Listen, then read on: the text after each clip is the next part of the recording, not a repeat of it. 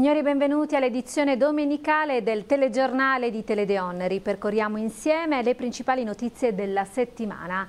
I carabinieri in festa per la Virgo Fidelis, la protettrice dell'arma che a Trani è stata celebrata con una messa presieduta dall'arcivescovo Monsignor D'Ascenso. Vediamo. E la Vergine fedele a Dio, alla missione di madre che le è stata conferita. Maria, che ha accolto nel suo grembo il figlio dell'uomo che si fece carne nei secoli, è divenuta simbolo dell'umiltà e della beatitudine di fede. E il suo essere Virgo Fidelis l'ha resa protettrice di chi per dovere è fedele nei secoli, i carabinieri, che a Trani, nel monastero di Colonna, hanno celebrato la loro patrona il 21 novembre, giornata a lei dedicata da 74 anni a questa parte e che combacia con la presentazione di Maria Vergine al Tempio e della ricorrenza della battaglia di Kulkenberg combattuta in Etiopia. Etiopia. La celebrazione è stata l'occasione per ribadire la missione di chi indossa la divisa da carabiniere.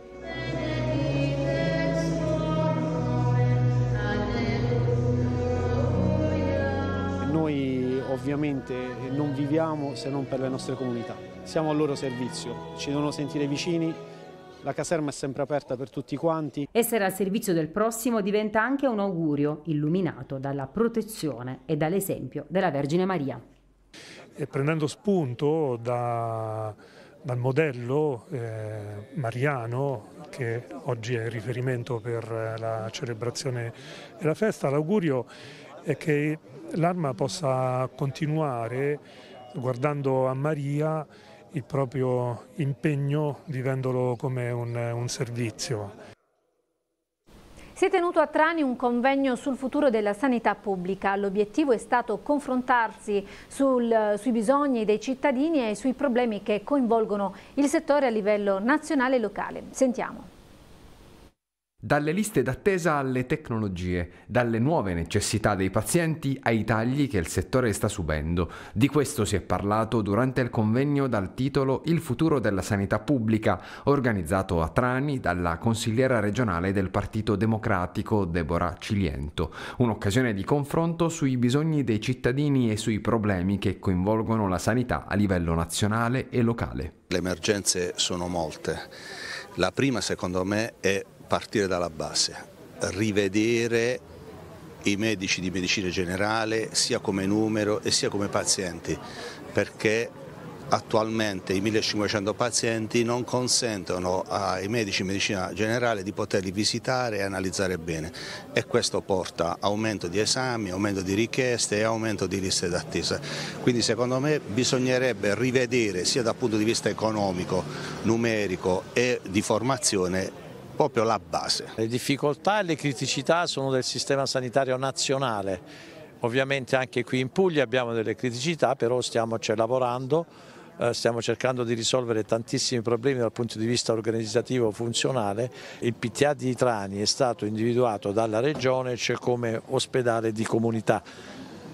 Cambia molto eh, perché eh, la classificazione di ospedale che ritorna qui a, a Trani e si acquisisce cioè attraverso la possibilità cioè, dell'ospedale di comunità che dovrà prendere in carico persone cioè, che hanno bisogno chiaramente H24 cioè quindi si ritornerà a ricoverare H24. Io ritengo che il tema della sanità è al centro delle politiche e deve essere sempre veramente un faro su cui ognuno di noi deve, deve, prestare attenzione. Comunicare col territorio e con la base su ciò che si fa, quelle che sono le scelte, è sempre opportuno ed è veramente condividere con una partecipazione comune e parlare di quelli che sono i temi di cui le persone hanno bisogno sentire la politica. Ad Andrea vetrine dei negozi in rosso contro la violenza sulle donne. Mai più sole è la campagna di sensibilizzazione in occasione della giornata internazionale contro la violenza sulle donne, organizzata da Confcommercio Andrea e dall'Associazione di Promozione Sociale Le Amiche per le Amiche. Il servizio di Marilena Pastore. L'esercizio commerciale di vicinato può essere una sentinella contro la violenza di genere, perché le donne non si sentano sole. È l'idea che il presidente di Confcommercio Andria, Claudio Sinisi, e l'Associazione Amiche per le Amiche, con la sua presidente Francesca Magliano, hanno lanciato in occasione del 25 novembre, giornata internazionale contro la violenza sulle donne. Vetrine in rosso, fularo, scarpe rosse, simbolo per antonomasia della violenza sulle donne. I negozi della città di Andria che hanno aderito all'iniziativa vogliono far sapere a tutte le donne che non sono sole. E se il negozio non ha spazi espositivi che guardano la strada, saranno i dipendenti a indossare le maglie, t-shirt o nastri di colore rosso per ricordare che l'amore non è violenza. In ciascuno dei negozi aderenti alla campagna Mai più Sole è esposto il cuorpugno, realizzato dall'artista andriese Isabella Pistillo, accompagnato da un messaggio molto semplice: amore, no violenza. La campagna di sensibilizzazione vuole anche rilanciare la helpline che corrisponde al numero 339 22 12 13 1, creata dall'Associazione Le Amiche per le Amiche per aiutare le donne in difficoltà perché siano supportate in ogni scelta che potranno fare, a partire dal riconoscere i segnali di una relazione tossica da cui possono e devono salvarsi.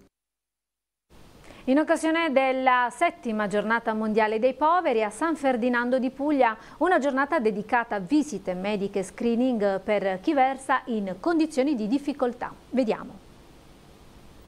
Non distogliere l'attenzione sul fiume di povertà che attraversa le nostre città e diventa sempre più grande fino a straripare. È il monito che Papa Francesco lancia fin dall'inizio del suo mandato pastorale, tanto da istituire ben sette anni fa la giornata mondiale del povero, quest'anno celebrata domenica 19 novembre.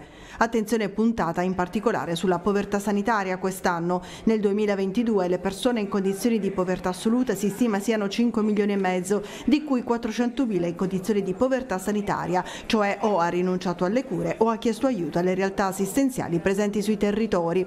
Anche la Puglia non è esente da questo dato e così l'ambulatorio solidale San Giuseppe Boscati, messo su dall'Associazione Orizzonti, insieme all'Arcidiocesi di Trani Barletta Viceglie e alla Caritas diocesana, ha promosso a San Ferdinando di Puglia una giornata di visite mediche e screening gratuiti a chi vive in condizioni di disagio. Visite urologiche, pneumologiche, mammarie e cardiologiche, ecografie, pediatriche, ortopediche, mediche garantite dagli specialisti dell'ambulatorio Moscati. Problema sanitario importantissimo la povertà è un dramma sociale, eh, siamo a 600.000 eh, persone che non possono permettersi eh, la diagnosi ma eh, credo che faccia ancora più riflettere il fatto che non si possano permettere le cure, cioè io faccio diagnosi ma non posso curarmi, eh, questo è un conflitto importante nella nostra deontologia. No?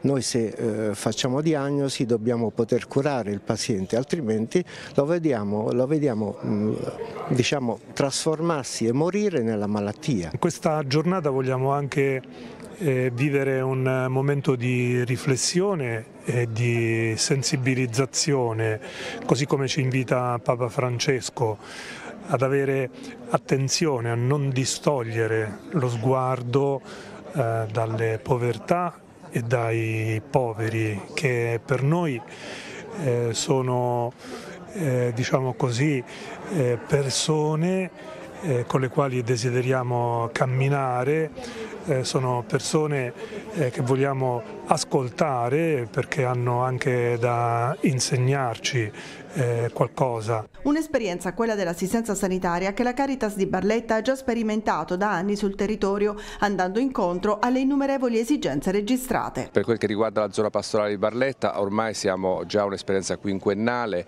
eh, grazie anche alla presenza dei medici cattolici nel nostro ambulatorio, provvisto anche di eh, medicheria, ma soprattutto di farmacia annessa. Questa esperienza quinquennale ha permesso di dare delle risposte concrete, sempre più eh, cittadini in povertà povertà assoluta rinunciavano alle cure sanitarie e quindi al netto di quello che può si può fare con la diagnostica che deve essere fatta assolutamente in esterna, nel nostro ambulatorio riusciamo a dare delle risposte concrete. Si riaprono i cancelli dell'Orto Botanico ad Andria. Dopo anni di incuria e abbandono per la festa dell'albero, oltre 150 bambini hanno visitato questo oasi a pochi passi dalla città, completamente riqualificato. Veniamo. L'orto botanico di Andria riapre i cancelli alla comunità dopo quasi un decennio di incuria e di abbandono. Il progetto di riqualificazione bonifica finalmente di oltre 20.000 metri quadrati di essenze arboree tipiche della macchia mediterranea, verde che rischiava di morire del tutto. E invece, in occasione della festa dell'albero, 150 bambini di alcune scuole della città hanno avuto il privilegio di conoscere questa meravigliosa oasi a pochi passi dalla città, nei pressi del santuario della Madonna dei Miracoli, ed hanno assistito assistito alla messa a dimora di tre nuovi alberi. La fase logistica del recupero è stata affidata all'azienda Multiservice che ha risposto ad un preciso indirizzo politico dall'amministrazione Bruno. Noi siamo stati da un lato entusiasti perché abbiamo eh, colto l'obiettivo principale che è quello di ridare questo, questa bella struttura alla fruizione della città. Abbiamo voluto anche cogliere l'occasione per la festa dell'albero e quindi abbiamo invitato alcune rappresentanze soltanto di scuole cittadine che hanno raccolto questo invito e oggi quindi eh, insieme piantumeremo alcuni, alcuni, alberi per festeggiare diciamo, la ricorrenza ma anche uno dei nostri tecnici stanno facendo delle visite guidate ai ragazzi per far conoscere le essenze e anche le bellezze naturalistiche presenti in questo orto perché sono molto belle. Quindi noi eh, auspichiamo che ci sia chiaramente una continuazione anche di questa attenzione, di questa sensibilità da parte delle scuole ma della cittadinanza, delle associazioni e chiaramente in collaborazione col Comune cercheremo di rendere il più fruibile possibile questa struttura. Si tratta di uno spazio progettato, realizzato eh, grazie a finanziamenti GAL ma poi mai finalizzato insomma, nella fruizione. Eh, lo stesso luogo insomma, versato per anni in uno stato totale di abbandono.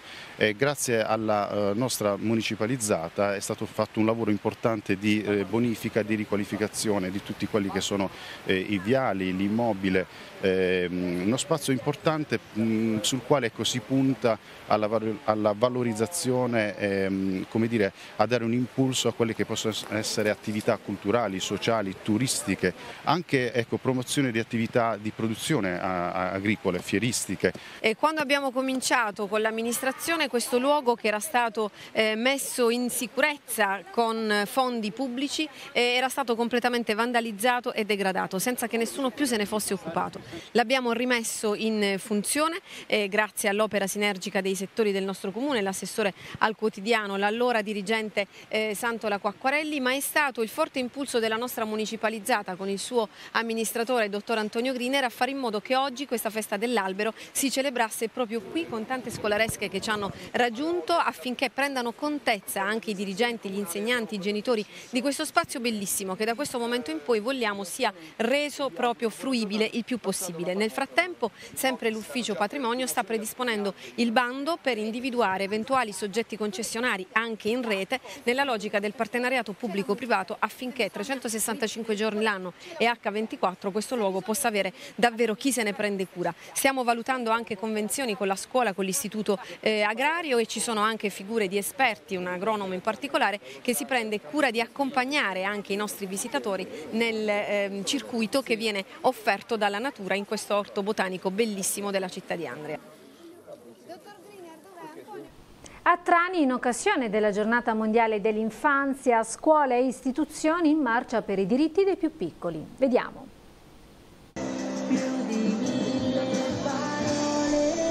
Un coro festoso e colorato che celebra i diritti dei più piccoli, che dovrebbero essere garantiti a tutti i bambini del mondo, ma che sempre più spesso sono violati. A Trani i piccoli studenti, le istituzioni, le associazioni si sono stretti l'uno accanto all'altro e hanno camminato spalla a spalla per ricordare che 34 anni fa è stata approvata dalle Nazioni Unite la Carta dell'infanzia per tutelare i diritti di chi è il presente, ma che sarà il futuro. È importante che la politica e le istituzioni, il comune, siano assolutamente vicini a dei percorsi che riguardano le scuole, riguardano i minori, ma riguardano tutti noi, c'è il diritto al futuro per le nostre comunità, per le nostre città, per la nostra regione. Quindi indubbiamente in questa giornata che celebra i minori, i bambini, è bello, non solo molto bello essere qui, ma anche corretto, giusto ed è anche un nostro dovere. Unire le voci e dire no, no ad ogni forma di violenza, dalla guerra a ciò che le cronache ci stanno indicando in queste ore. Noi non ci stiamo, non ci stiamo alla violenza, quindi questa è una marcia dei diritti dei bambini che dice no alla violenza e dice sì alla pace. I bambini hanno sfilato stringendo cartelli con cui hanno chiesto che la loro quotidianità fatta di studio e giochi possa essere reale per tutti i bambini del mondo e non un sogno come avviene per i piccoli che stanno vivendo l'orrore della guerra.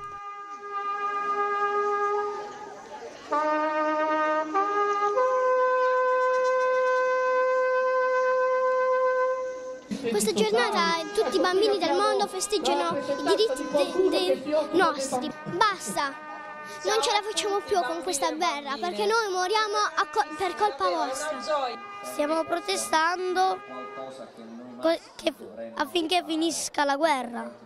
La manifestazione è stata l'occasione per ribadire che il futuro va garantito, pensando però al presente e a come sensibilizzare chi avrà fra le mani il domani al rispetto dell'altro. Il processo formativo educativo inizia a quest'età, se vogliamo una società migliore, se vogliamo uomini che rispettino le donne, uomini che non usino la violenza con le donne, in generale un'umanità molto più inclusiva e non così eh, sempre pronta a non accettare il prossimo, dobbiamo lavorare su di loro. Noi, mondo degli adulti, abbiamo il dovere, l'impegno di garantire loro questi diritti e accompagnarli, perché loro è vero che sono il nostro futuro, ma dobbiamo sostenerli, tutelarli fin da ora, perché sono per noi già il nostro, il nostro presente. I referenti del progetto Andria Food Policy Hub hanno raccontato i risultati raggiunti in questi mesi di attività. Presentate anche le tre start-up di innovazione sociale che andranno ad abitare il chiostro San Francesco. Vediamo. Oltre 800 studenti incontrati per fare educazione alimentare, confronti con più di 600 cittadini durante 5 incontri tematici per addetti ai lavori, altri 5 eventi di sensibilizzazione, 2 mercati contadini, 2 eventi di animazione, un orto di comunità. Sono alcuni dei numeri del primo anno di attività dell'Andria Food Policy Hub, il laboratorio nato dalla volontà del comune di Andria per promuovere le buone politiche relative al cibo. È stato un percorso lungo, sfidante. Andria è tra le poche città in Puglia, ma aggiungerei in Italia, che ha affrontato un percorso così complesso in così poco tempo e i risultati sono molto interessanti. Abbiamo coinvolto tanta parte della città di Andria e in più c'è la valorizzazione del chiostro San Francesco, il che significa rifunzionalizzare spazi pubblici che ospiteranno tre nuove imprese sociali dedicate ad attività diverse tra loro tra cui il recupero diciamo, di eccellenze alimentari, la formazione e l'educazione dei bambini ma anche degli adulti e un concetto di acquisto evoluto tramite un gruppo d'acquisto solidale eh, di nuova concezione. Qual è l'importanza delle politiche eh, legate al cibo? È importantissimo, noi facciamo sempre eh, questo esempio quando parliamo soprattutto con i bambini, no? eh, noi sappiamo che il corpo umano è uno solo, quindi molto spesso i fenomeni che riguardano una parte del corpo riguardano in realtà anche altre parti del corpo e questo qua sono le politiche alimentari, perché il cibo attraversa tutto il sistema produttivo, culturale, economico, sociale della città e quindi ragionare su questi temi ci aiuta a eh, tenere meglio eh, il punto di quello che succede nella nostra città. Abbiamo unito il percorso anche di educazione alimentare che va nella direzione poi di dar vita al Food Policy Hub anche al percorso dei luoghi fisici che ospiteranno questa iniziativa che è praticamente eh, la prima eh, in Puglia oserei dire, forse la seconda eh, in Italia e infatti il chiostro San Francesco che è oggetto di riqualificazione dedicata è ormai alle battute finali per quanto riguarda riguarda il riallestimento, quindi vivremo questa porzione di città all'insegna anche dell'educazione alimentare che nel frattempo abbiamo fatto. E siamo arrivati a questo obiettivo facendo anche una scelta di partners qualificati in tema di cibo, di gastronomia, di enogastronomia, di eccellenze del territorio, di valorizzazione della filiera corta, questo concetto che comincia a diventare fortunatamente sempre più familiare e con il quale però dobbiamo ancora fare le prove pratiche nel nel senso che un conto è parlarne, un conto è poi mettere in pratica che cosa significhi utilizzare la filiera corta per il benessere alimentare e salutistico di ciascuno di noi. A Trani nuova casa per l'ANT, la fondazione che fornisce assistenza medico-specialistica gratuita a casa dei malati di tumore senza alcun costo per le famiglie. Il servizio di Luca Ciciriello. Ecco.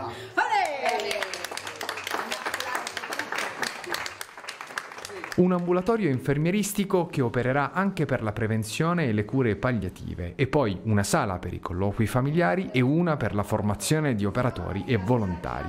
Sono le principali novità della nuova sede dell'ANT a Trani, la sezione della fondazione che si occupa di assistenza domiciliare specializzata e gratuita ai malati oncologici copre il territorio della BAT, la sesta provincia pugliese e del nord varese. Il servizio è attivo da più di vent'anni e nell'ultimo periodo periodo è cresciuto il supporto dei professionisti. L'obiettivo è garantire presenza e vicinanza. Forse la cosa che più ehm, ci contraddistingue è la capacità di dare presenza di dare ehm, supporto, di dare ehm, piccoli aiuti che fanno la differenza quando nessun altro ti risponde suggerimenti e la possibilità di non sentirsi soli perché per esempio la guardia medica dell'ANT risponde anche di notte nei festivi e eh, nel fine settimana quindi quantomeno per una consulenza c'è sempre un medico di competenza esperto all'interno all'ANT che può dare supporto. L'equipe è composta da otto medici,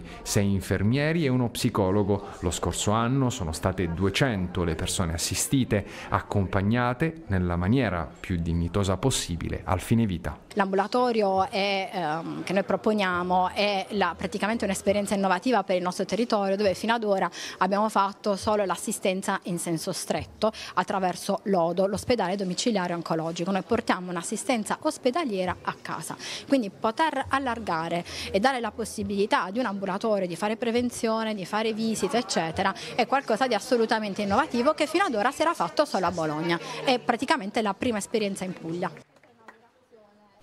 E con quest'ultima notizia si chiude anche questa edizione del telegiornale di Teledeon. Vi ringrazio per l'attenzione, vi auguro buon proseguimento di serata.